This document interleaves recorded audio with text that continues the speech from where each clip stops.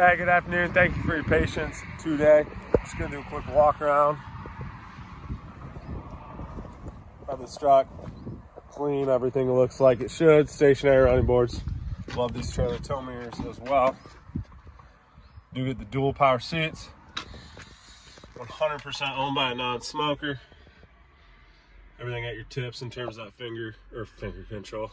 Um, cruise control, adaptive cruise control, lane departure. You get that moonroof, sunroof that spans the entirety of the cab. Back seat, highly doubt anybody ever sat in the back of these. You get the spray-in bed liner, that's actually what I prefer. Sensors along the back side. You get the tailgate step, spray-in bed liner.